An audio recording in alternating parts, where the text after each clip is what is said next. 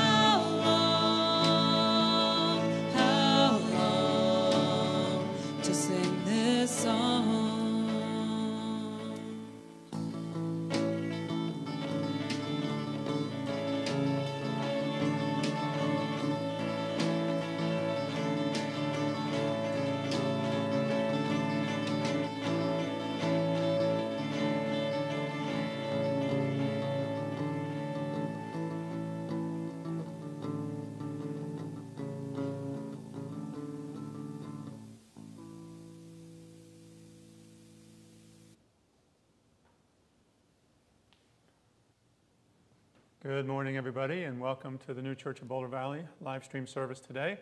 It's good to be back with you. I hope that this finds you well and uh, ready to hear something from the Lord's Word, something that's inspiring from His teachings. We're going to talk today about communication and specifically about hearing and uh, listening, something that we seem to need to do a better job of in this world. So we'll start with our first song, and this song is Obey My Voice. And just uh, welcome to the children who are here as well. Um, a first part of our service will be for you, and then we'll have a talk for the adults as well. So let's start with Obey My Voice.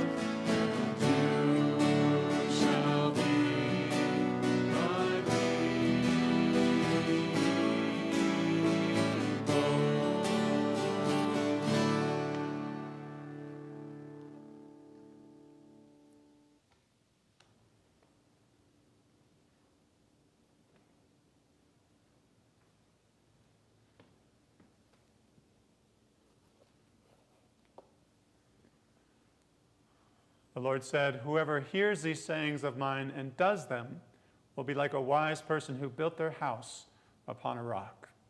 Amen. Oh, come, let us worship and bow down. Let us kneel before the Lord, our Maker.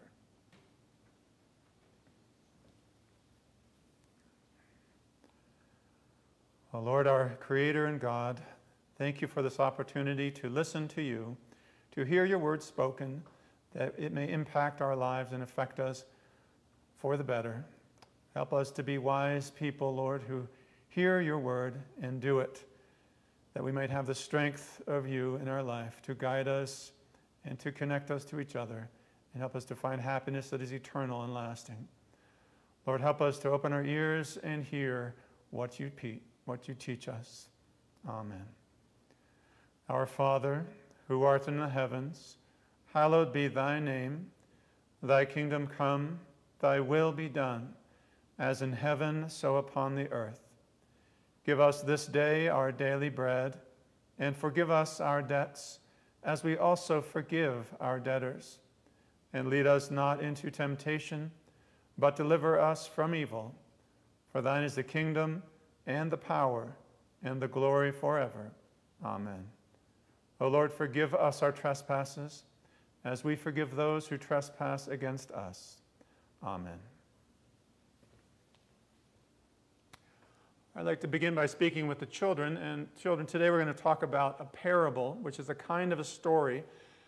And the, the meaning of a parable is it's a story that has some message or a deeper idea to teach us about our spiritual life in this case because the Lord is teaching it. And everything that the Lord says has that kind of value. It's a story that has a deeper meaning about how we are to live or how we're to, to become more loving, how we can love the Lord and our neighbor better. So, this story is a probably familiar one the story of the parable of the sower. And a sower is somebody who casts seeds or plants seeds in the ground. And so, let's hear the story and then we'll talk a bit about more about it, we have some examples of what the Lord's talking about here today. This is from the Gospel of Matthew, chapter 13. Then Jesus spoke many things to them in parables, saying, Behold, a sower went out to sow. And as he sowed, some seed fell by the wayside, and the birds came and devoured them. Some fell on stony places where they did not have much earth, and they immediately sprang up because they had no depth of earth. But when the sun was up, they were scorched, and because they had no root, they withered away. And some fell among thorns, and the thorns sprang up and choked them. But others fell on good ground and yielded a crop, some a hundredfold, some sixty, some thirty. He who has ears to hear, let him hear. Amen. It's an interesting way that the Lord ends that story. If you have ears to hear, then listen, then hear. And I think we're all probably today in that category where we have some ears, we can listen to what the Lord is saying. And he's saying there's a story. And if you've been gardening this year, have done planted any gardens outside at your house or anything like that, you can probably relate to what we're talking about. But the Lord says a sower went out to sow. So right here I have a bunch of seeds. You can see them. And a sower is someone who just casts seeds, spreads them like that. And a sower went out to sow, and as he sowed, some seed fell on all these different types of soil. Some fell on the wayside. The wayside is kind of like a hard, packed down ground, like a path that's been walked over a lot, so it's really hard. It's almost like this rock. I tried to get some wayside, but it kept breaking up when I dug it up. But you can hear it's kind of hard. And if you planted any seeds on the wayside, the birds would just come and take them because there's no way that it can those seeds can take root into the ground because it's too hard.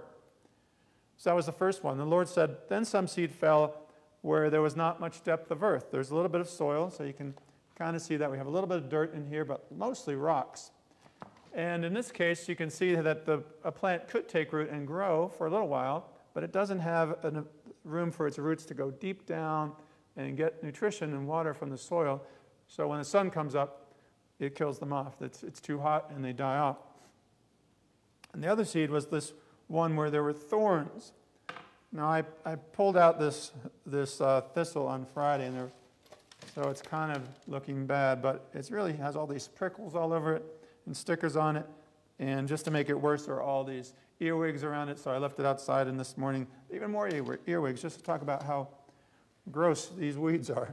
But um, so the seed that fell where there, where there were uh, thorns and, and where there were weeds is what choked it up. When things started to grow, the weeds just overgrew them and choked them out.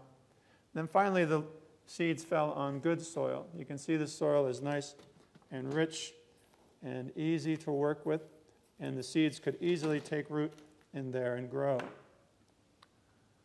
So, the Lord tells us this story because He wants us to know that our minds are like a garden. They're like the ground where the Lord is always trying to put ideas or truths from His Word or good impulses, good desires, tries to plant them in there so they will take root and grow, and so that we can change and we become someone who's loving, someone who's kind, generous, compassionate, and all that kind of stuff. But there's things that we have to work on. Now, if you did any gardening this year, you know that you can't just go outside and just throw some seeds on the ground and expect some nice vegetables to grow or nice flowers to grow. You have to prepare the soil. You might have to break it up because it's too hard, or you might have to pull out the rocks or pull out the weeds so that a soil looks more like that one in the front. And that takes work. And the same thing like our mind, we have to try to get away from this hard soil, is sort of like we have our minds made up. We, we, we figure we already know everything, and there's no way for the Lord's word to penetrate because we're convinced of our own rightness. Nothing gets through. And the birds of the air, the, our own ideas just take away the Lord's ideas from us. This other soil is like we're interested in what the Lord says, like it's an interesting stuff, nice ideas, but when we start to think about what we really want, it's like, no, I don't, I'm not really that interested in what the Lord is saying. And those seedlings die off when the sun comes out. Then the weeds picture our own selfishness, our own bad behaviors that we might be involved in. Maybe we're angry and we, maybe we're mean. And it's like being, it's almost like being a thorn. People don't want to get near you. If they get near you, they get hurt because we're not acting kindly. And those things we need to pull out. When our soil or when our mind is ready, the Lord's word takes root and it grows and it produces fruit. As it says, some hundredfold, some 60, some 30. All those wonderful ideas that the Lord has for us can really start to become part of our life. Now, this is true also of how we want to listen to people. We want to try to be open minded, try to be someone who can hear what people are saying and not already have our mind made up or not care about what, they, what, what they're interested in, or maybe we just don't we're just not, yeah, we just don't care about other people. So, like, we'll choke that out. So, I hope that story makes some sense for you and um, hope we can work on our own soil. Maybe you can go outside and do some gardening today as a way of remembering how the story is. Go look for some ground that's hard and see what that's like, and some ground where there's too much rock and not enough soil. Maybe find some weeds and pull those out, and maybe find some places where there's nice soil and see how that's doing. Okay?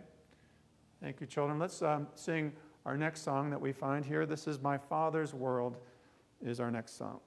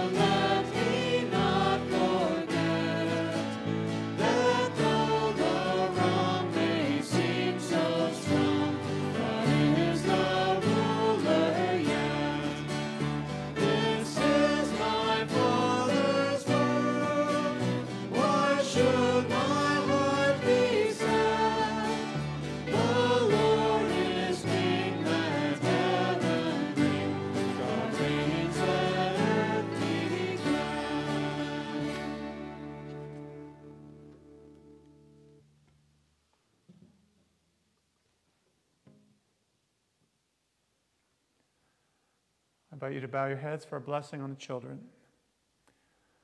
Oh Lord, please protect your children and teach them from your word the way to heaven.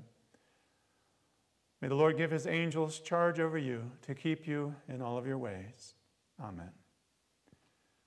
Well, thank you, children, for being here today. And maybe you have some lessons that we sent out prepared for you, or maybe you have something else that your parents have planned for you. But thank you, and you're welcome to stay, of course.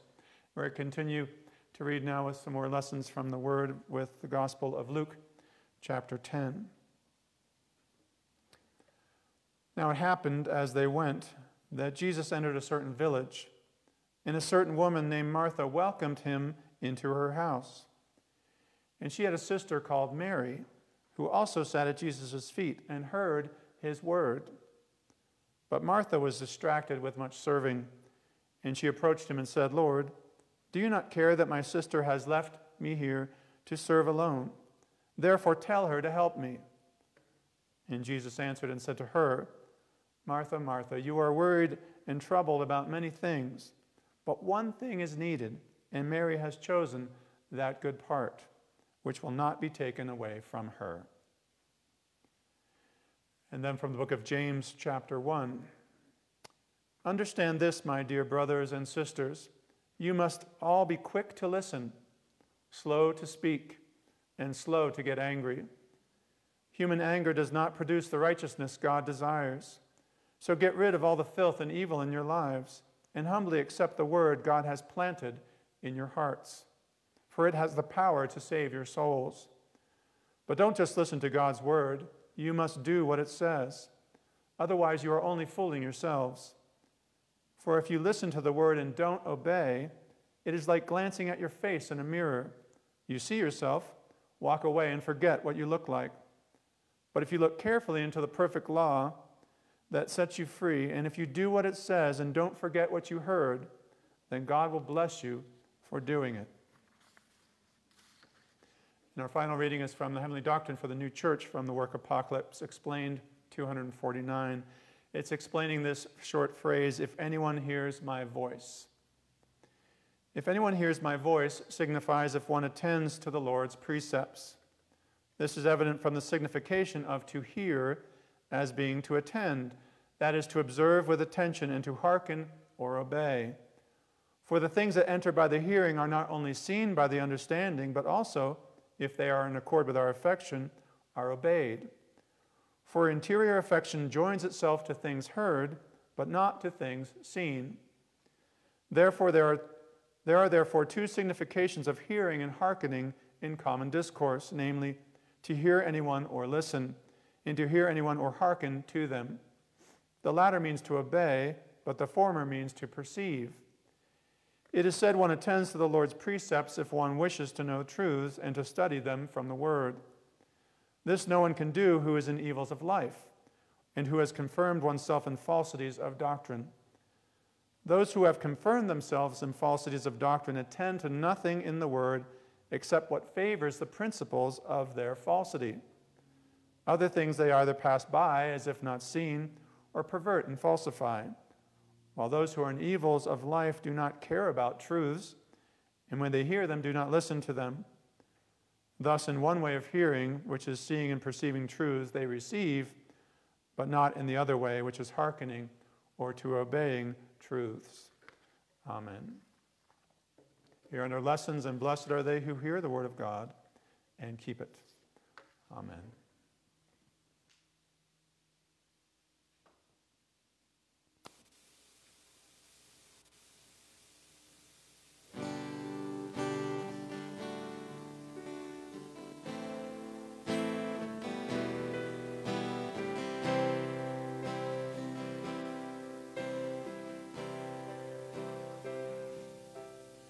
Be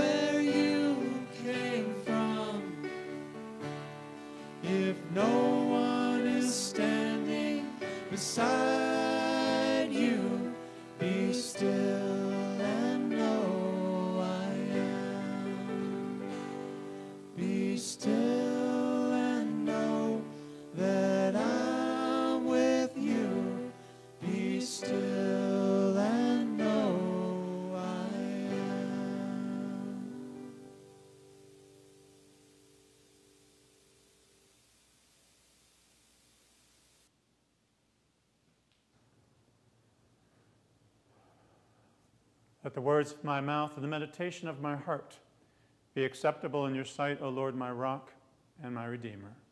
Amen. So I want to talk to you today about communication. It seems that as a species, we are having trouble doing that in a good or in a healthy way, if social media and the news is any indication of that. On social media, you see long threads of communication spawned by just a simple misunderstanding. Or you see people respond to things that people put out there with such mean spiritedness. And the rules of kind communication or rules of communication are not often there, asking the question before we say something or post something is this true? Is it necessary that I post this or say this? And is it fair? The Lord asks us to be slow to pass judgment, to assume the best of other people, and even put a good interpretation on things that people do or say if possible. That's what angels do, and that's what the Lord asks us to try to do. As we read today in James 1, you must all be quick to listen, slow to speak, and slow to get angry. I love that. Be quick to listen. You see, though, instead, people quickly talking past each other, being angry, defensive, and absolute in their sureness of what they're saying or what they believe. A colleague posted this this week, um, a common saying, but with a twist here. It says, I remember when political activists would say, if you're not outraged, you're not paying attention. Today it seems everyone is outraged and no one is paying attention. There's a speaker named Julian Treasure who calls out these seven, what he calls seven deadly sins of speaking. If you're going to communicate, these are the kinds of things that make it difficult for people to listen.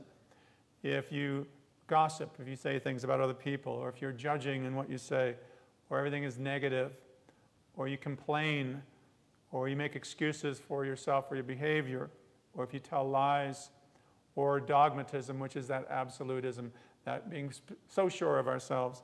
His conclusion is when we do these things, it makes people, or it makes it difficult for people to listen to what we have to say. But putting that all aside for a moment, let's begin by touching on that simple, potent story of Mary and Martha. Jesus is in their house and he's teaching them. And what would you do if that was you? The Lord's in your house and he's teaching. Would you listen? Would you be able to be present? Or would you be checking Facebook or posting your status update or checking Instagram or cleaning the stove or wiping the counters or whatever it is? I mean, yeah, it's a challenge to sit and to listen, even now, more days with all the information that's being rapidly fired at us. But there's so many distractions, which Martha fell prey to there. And it says Martha was distracted with much serving. And she even took it to Jesus, saying, Don't you care that Mary has left me alone? Tell her to help me. And she created sort of this victim scenario for herself And no one told Martha that you had to be serving. But she's like, well, this is the thing I have to do, and, and Mary should be helping me. But Jesus says to her, Martha, you are worried and troubled over many things. One thing is needed, and Mary has chosen that good part that won't be taken away from her. What's that one good part? Is it sitting, sitting and listening to the Lord's word. I mean, the Lord's in her house. Sit and listen. And the other story that was shared today about the sower. The sower went out to sow, and as he sowed, seed fell on the wayside. Some fell where there was not much depth of earth, some fell among thorns, and some fell in good soil. And it had all those different responses to it. And of course, the sower, as we said, is the Lord, and the seed is the word or the truth or answers to what matters in life. And what do we do when we encounter that, when the Lord is sowing those seeds in our life? Are we like the wayside where we're just too busy, or we've already made up our mind, or everything's packed down by overuse? We have our biases, we're hard headed, we and our own false principles pictured by the birds just take away the truth that's there. Or the stones where there's not much depth of earth. We're interested, the word's interesting to us, but we're not really interested in having it take root because that would require that we get rid of our own self interest. And when the sun, com- sun comes up, that self love arises, it takes it away. Or weeds where bad habits or evil behaviors choke out the truth. Are we doing anything to remove those from our life? And then the good ground, where actually the soil is prepared, it's ready, it's open. And that happens when we shun evils as sins against the Lord. When we actually remove those bad habits in our life with the Lord's help, the soil is ready. That's how we can be prepared for roots to take for the truth to take root. Listen to this passage that the Lord gives. It says, "But in very deed, the moment you shun evils as sins. The Lord inflows from heaven, takes away the veil, dispels the cloud, opens the spiritual mind, and so introduces you into heaven. What a beautiful thing. The moment we shun evils as sins, all these things are opened up, and the Lord introduces us into heaven. It's like once we start pulling those reeds, getting rid of the rocks, and digging up the soil, the seed can take root. So, how is the Lord's word received by us? What kind of mindset or attitude do we have? Well, one key to successful communication, of course, is listening. How, what people say, how is it received by us? How does what the Lord say, how is it received by us? What attitudes do we have? Well, let's first talk about what it means to listen. We probably all have different definitions of what it means to listen, yet we all probably would agree that if people don't listen to us, we feel unimportant, we feel brushed aside, we feel ignored, we feel disrespected, and so forth. And I think we often have different demands on different people that we are trying to speak to. There's a famous book on differences between men and women, and it states, and this is generalization, which I know is dangerous to do, but it says women just want to be heard. They just want what they say to be heard and acknowledge that I understand what you're saying. But men want to fix the problem. And you can see how those two things clash because there's a different goal in mind that can cause conflict. So, a different definition of what it means to listen. And as parents, listening usually means that you, the child, hear what I say and then you immediately respond and do what I said. You obey my instructions. That same thing can happen in a relationship or marriage, for example. If we're asked, or, you know, we expect that if we said something, the person will hear it and they'll do what we said. That often is the case. Or people ask, a person may ask for advice and we give it, and if we give our advice, we expect that will be followed. But how do we feel when they just say, well, thank you, but they do something else? What we often crave, and that's what we often get from good friends, is just sympathetic ears. Someone who says, yep, I hear you. I'm sorry that you're going through that or whatever it is that you're experiencing. But the word for the new church tells us that there is a living relationship, what's called a correspondence between our ears and hearing and obedience and the children of Israel were commanded by the Lord to wear earrings in their ears as a representation of this. They were ornaments representative of obedience. So people wore them to show that we're not only supposed to hear, but we're supposed to obey. And I think that's true about our expectation when the Lord speaks the truth. The expectation is that we will hear and that we will do it. Those are the two things that are expected to hear, here's a passage from the Heavenly Doctrines that we already shared a bit of. It says, To hear means to attend, that is, to observe with attention and to hearken or obey. For the things that enter by the hearing are not only seen by the understanding, but also, if they are in accord with our affection, they are obeyed. So they're observed with attention and they are obeyed. So, how good are we at that? When we hear the Lord's, Lord's word spoken, do we hear it? We hearken to it, and do we obey it? When the Lord says, Blessed are those who hear the word of God and keep it and obey it, not just blessed are those who hear it, but blessed are those who hear and keep or obey. Or, as I said as I opened the word today, whoever hears these sayings of mine and does them will be like a wise person who built their house upon the rock and can sustain the storms of life that come along. So, the clear suggestion from the Lord is if you really want to be happy, listen and do. So, what are some blockages that we might have to listening? Why do people sometimes have a hard time hearing what people are saying, really getting what's going on? Well, the first idea is that they are hurting, that they are suffering in some way, so they have a hard time hearing.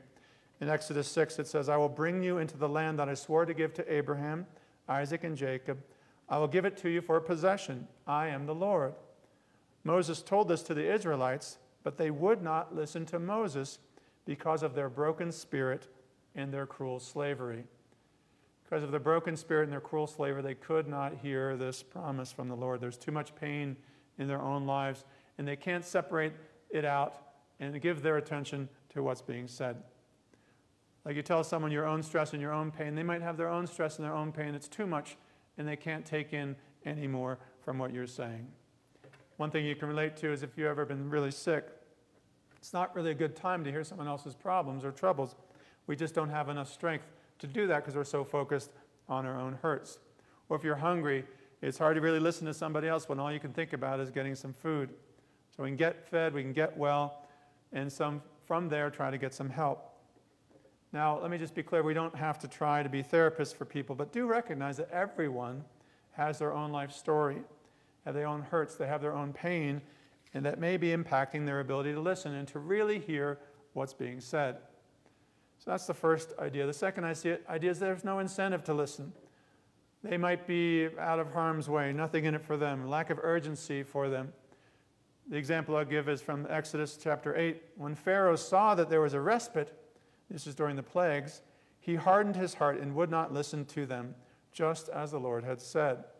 You see that over and over in the story of the plagues with Pharaoh is that when the plague is raging, then Pharaoh is very able to listen, but as soon as it's removed, he can't hear. His heart, his heart is hardened, he won't listen. It's the same thing that you see in the book of Judges, where the children of Israel, they disobey the Lord and they're attacked by an enemy, and they cry out to the Lord. They're very interested in hearing what the Lord has to say at that point. The Lord sends them a judge to help them. They are free again and at peace, and they stop listening, they stop obeying, and then the whole cycle goes over again. That's the second thing. The third thing is presumption this idea that we, we think we know what people are saying. So we kind of check out because we think we've heard it all before, or we might finish their sentences for them, or jump to conclusions about where they're going because we assume we know what they're talking about which may be connected to the fourth idea, which is suffer, we suffer from impatience, or we're anxious to get on to something else, or something we might think of as more important, like the ball game, or our favorite TV show, or our own concerns, or maybe getting to what am I going to say next? So we leap ahead to that. The next idea is that leads us, and that leads us to a difficult problem, of course, is, is one of self-love or pride. If, if we're so convinced that our way is the only way, that we'll only listen if you're going to tell me what I want to know or what I already believe, what I want to hear. And that's illustrated by the parable of the sower with that wayside. We're just, we already have it figured out. So to really listen, we have to work on loving other people. We're taught that self concern actually blocks out our concern for others and therefore our listening, our ability to care, really. Secrets of Heaven 8676 says, Pride of heart, which is self love, drives the divine away from itself and puts heaven away from itself. For pride consists in loving self more than others, putting self before others, and wishing to rule others. So it makes sense. If we're more concerned with ourselves than we are with anybody else, we have a hard time hearing what they have to say because it really doesn't matter to us. So, how do we listen well to other people? How do we become a good listener? Well, first of all, we need to practice it. Like anything else, we need to work on it. It's a, it's a skill that can be acquired by working on it. So, what are suggestions does the Lord give? The first one is to listen carefully.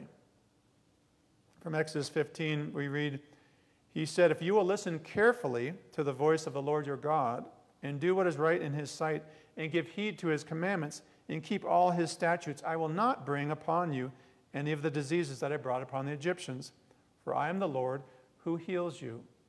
So listen carefully and do what is said. Why would we do that? Because we want to make sure that the message we is received the way it's meant to be understood. So listen for the meaning behind what someone is saying, not just the words. I think that's the problem with a lot of communication, which is written out. It's on Facebook or Instagram or something like, or all those other way, Twitter, Twitter and so forth. It's so easy to misconstrue what someone's saying or point out oh, something that was wrong because communication, the best communication is in person, face to face. The Lord says the letter kills, but the spirit gives life. So be careful of being caught up in that, oh, oh, look at what it says there. Well, what's behind it? So be careful about it. The second thing is listening with compassion. Exodus 22 reads, And if your neighbor cries out to me, I will listen, for I am compassionate. We listen because of compassion. Now, there's often something behind what is being said by somebody. Everybody is hurting in some way. And the key is to listen with the heart and find the hurt behind the words and really hear that. If a child is acting out, if we really listen to what they have to say, we might find out that someone made fun of them at school and they're feeling sad about that. Or you get an angry response to a question you ask, and you might find out if you really listen that that person you're talking to, their parent, was recently diagnosed with cancer and they are feeling a lot of stress. Here's something I found that says that the number one cause of affairs in America, the number one cause of adultery and that marriages break up is somebody found a sympathetic ear. Most affairs do not start with sexual attraction. Most affairs start because somebody found a sympathetic ear at work that they didn't find at home. And they found somebody who would look them in the eye and listen and say, You matter. I'll tune in. While the person at home was tuning out. It's been said that a man is already half in love with a woman who will listen to him. Now, to be clear, it's not to say that that's okay, it's to point out if we can listen better, it will help us in our relationships with our spouse or the people who are close to us. And there is such a power in just listening from compassion. We don't need to fix it, we just need to hear. Ask the Lord if you're ha- having trouble listening to somebody or connecting with them, ask the Lord to share His love for that person with you while you're listening. And you'll find that you will be filled and feel very differently than you did before. To have the Lord's idea, the, the way the Lord sees them, is the way you see them. And the third thing is to listen attentively. Put away the distractions. Just look and listen. Be in the moment. If you can't be in the moment, ask, Can I talk to you later? I'm just distracted. I, am not able to really listen. Think about that story of Mary and Martha. Martha was just distracted by so much serving, and Mary was able to sit and listen. And the Lord says, That's what you need to do. Just sit and listen. Turn off the computer, put away the phone, make the time to listen. Maybe you have to schedule it.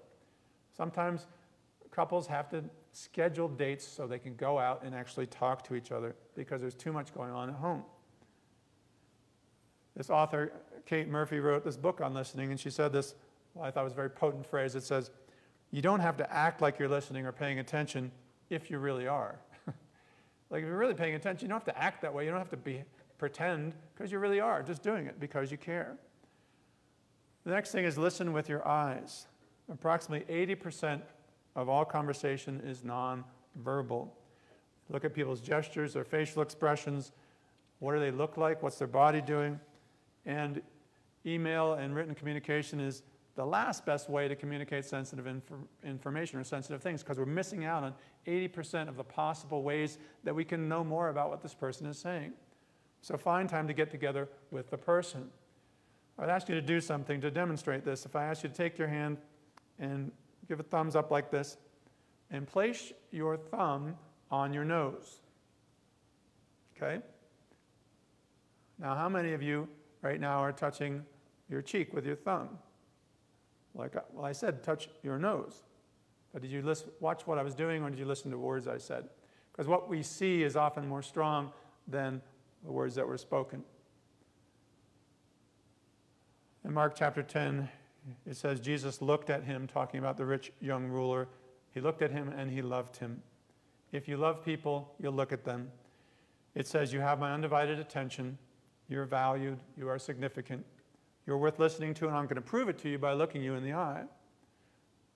Parents, when was the last time we got down on our knees and listened, looked at our child right eye to eye, and listened to what they had to say while they're talking to us? It's easy to be very busy cooking or cleaning or organizing or working on our phone or, or email, checking texts, and that kind of thing. Let's put down the distraction. Try to listen that way, eyeball to eyeball. You can ask yourself, or just say to yourself, stop, look, and listen. Stop, like crossing the railroad tracks. Stop, look, and listen. Because it says that that person matters. And just listen. We don't have to try to fix it or give advice. Just say, thank you for telling me that, or thank you for sharing that with me. The saying goes, we're given two ears and one mouth so that we will listen twice as much as we speak. So, listening is a skill, something we need to practice. Like Martha, it's very easy to be distracted by many things. And I think we're in a time in our history where it's very vital to find a way to really listen and hear what people are saying. With all the racial issues that are going on in our world, we need to listen. We need to really listen, not be reactive, not be fragile, be defensive or presumptive, but just to lean in and really listen to what's being said. What is behind this? What is going on? What's true here? Same thing with politics. We're so divided. But be patient and listen and really want to understand the other person, where they're coming from. Can we enter conversations hoping to have our own mind change rather than trying to convince someone else to change their own mind? Hoping that we can learn, hoping we can grow, hoping we can understand. My brother is a marriage and family therapist, and he says this, and I believe it's true, that everyone's behavior and I will, be had, I will add to that everyone's beliefs, everyone's behavior and beliefs make sense. Meaning they're doing it, they're believing it because there's some reason for that. It's underlying it. Can we find out what's going on? So lean in and listen. What's their story? Lean into the discomfort because it's uncomfortable when people say things you don't like or you don't agree with. Brene Brown says, On top of knowing that you are loved and worthy of love and belonging. I don't know if there's a greater gift that we can give our kids than the ability to lean into difficult conversation and be vulnerable. Because it does take vulnerability to really listen with an open heart, with compassion and interest. But if we can do that, we'll find more meaning, we'll find more connection, we'll find more common ground. We might even find unity, even when we don't agree with what people are saying. We'll find unity because we'll realize that person is human, and so am I. You don't have to agree, but understanding goes a very long way towards healing the divide. Amen. We bow our heads for a moment of prayer. Lord, help us to open our ears, open our hearts, open our hands, and welcome the conversations that we need to have. Welcome learning and understanding where other people are coming from. Help us to listen to hear. And when it comes to you and your word, Lord, help us to hear and obey. Thank you, Lord, for this opportunity to learn from your word. Amen. The Lord bless you and keep you. The Lord make his face to shine upon you and be gracious unto you. The Lord lift up his countenance upon you and give you peace. Amen.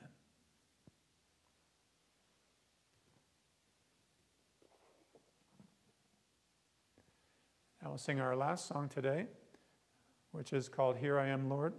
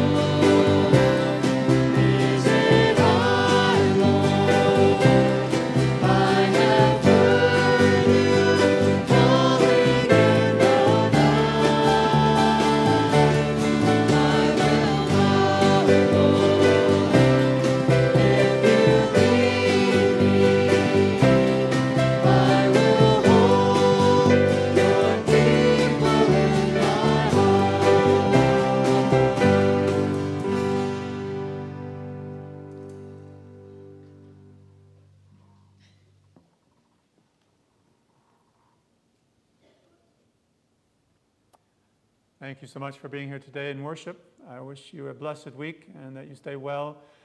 And if you want to join us for our Zoom gathering, the information you can, you can email me that uh, email me and ask for that link if you don't have it. It's David at ncbv newchurchbouldervalley.org. Thank you. God bless you and stay well.